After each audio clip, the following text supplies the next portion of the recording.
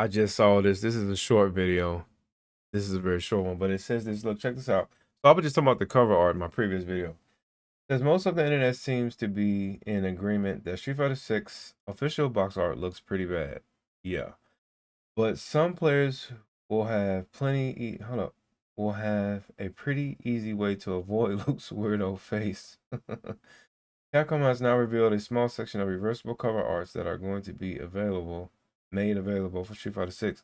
At least for people who picked the game up early in Japan. Are you kidding me? Yo, we need to get this here. Can I zoom up on this? We need to get this here. So we got Guile, Chun-Li.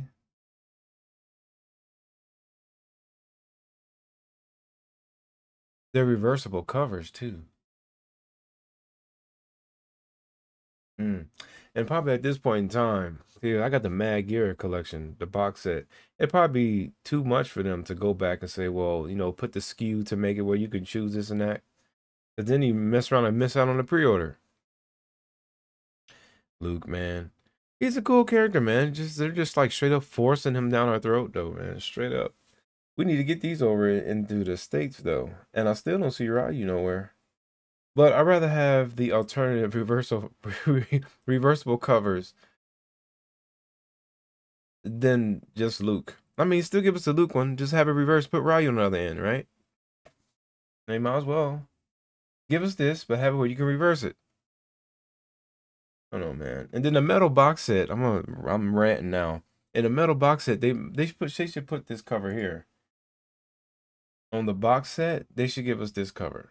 I will accept this because my boy is back here, but I don't know, man. Oh, can we get? Okay, here we go. Okay, here we go. Here we go. Here we go. Let me just out of here. For free content. Okay. Yeah, this looks cool, right?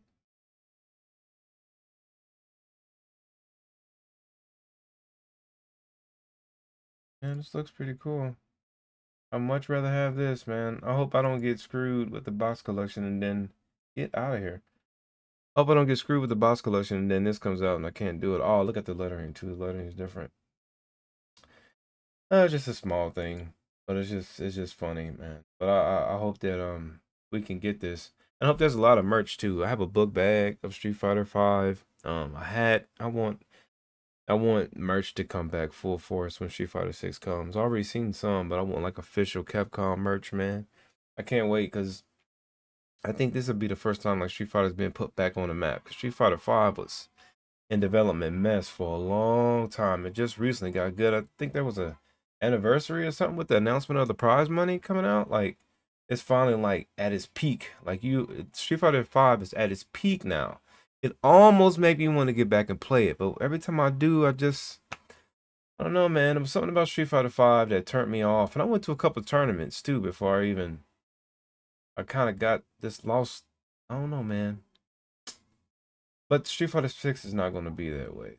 But yeah, that's my little rant about the covers. if you ain't put your pre-order in for Street Fighter, put it in. Peace.